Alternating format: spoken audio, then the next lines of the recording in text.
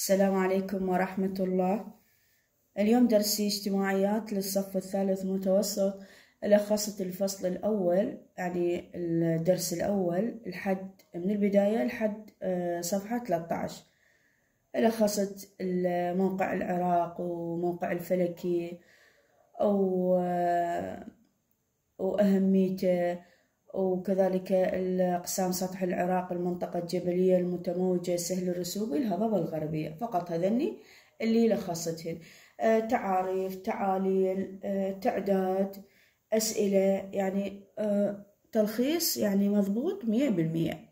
فما راح أقرأ لأن هواي فراح أخليكم تاخذون سكرينات.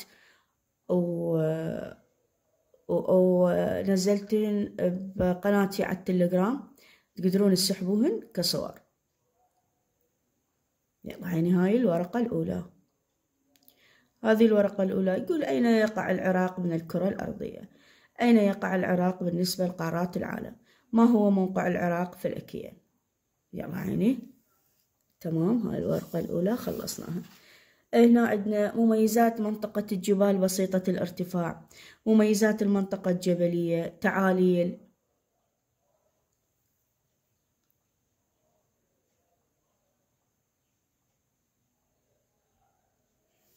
زين. هنا تعريف الأهوار والمستنقعات شنو أهمية الأهوار الموجودة في جنوب العراق؟ أين تقع الهضبة الغربية؟ ما هي صفات سطح الهضبة الغربية؟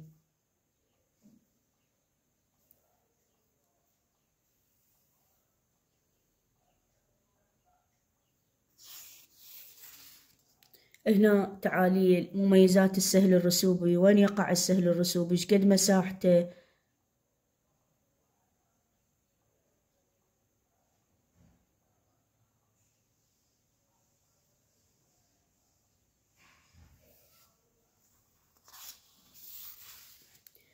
هنا عندنا ما هي الدول التي تحد وطننا العراق؟ شنو أطول حدود الدول المحيطة بالعراق؟ شنو المزايا التي ترتبت على شكل وطننا العراق؟ وهنا فراغات مساحة العراق شقد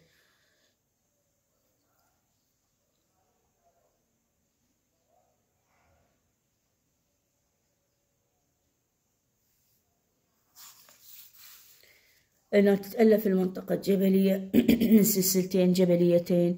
شنو مميزات منطقة الجبال؟ عالية الارتفاع.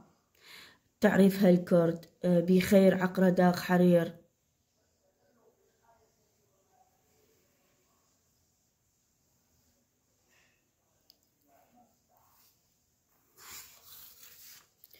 المنطقة المتموجة.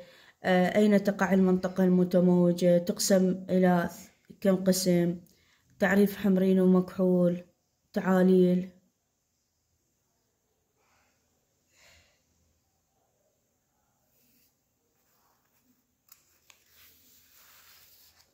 هنا أيضا تعريف التضاريس المنطقة الجبلية تعاليل. إن شاء الله تستفادون آه، من هذا الفيديو.